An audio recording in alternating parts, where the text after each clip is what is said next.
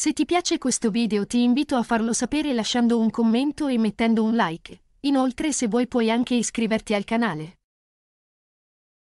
L'Inter di Simone Inzaghi si prepara a scendere in campo con un'inquietudine palpabile. Davide Frattesi, il giovane centrocampista proveniente dal Sassuolo, scalpita per conquistare una posizione da titolare.